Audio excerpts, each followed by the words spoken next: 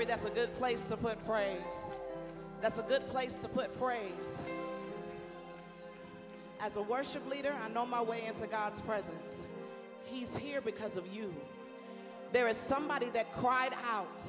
There was someone that set their intention and said, I'm not moving one inch, Lord God, until you bless my soul. Lord, I came here looking for you. Lord God, my soul thirsts and it longs after you. I am here, Lord God, to lay burdens at your feet. I am here, Lord God, to lay all of this at the altar. Lord God, once I leave this place, I am no longer going to be the same. I am no longer going to be the same.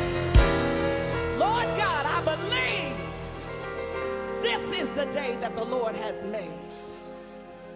And because you made it, Lord God, you made all things well. And I choose to honor you on this day. So, y'all, don't wait for your neighbor. Don't wait until it looks like everything is in position or it looks like it's lining up for you.